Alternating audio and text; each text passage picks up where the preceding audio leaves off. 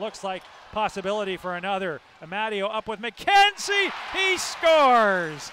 Greg the Bears called that one. Amadio, the 18th shorthanded goal for the battalion, and it's a 3 1 lead.